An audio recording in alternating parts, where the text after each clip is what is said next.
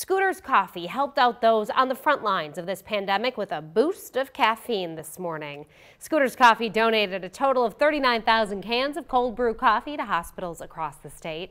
It's an effort to make sure our healthcare workers are taken care of and feel appreciated. Earlier this morning, 3,000 cans were dropped off at UNMC at the COVID-19 tent there at 42nd and Dewey, but that wasn't even the largest donation. This afternoon, Scooters gave 16,000 cans to doctors and nurses at CHI hospitals.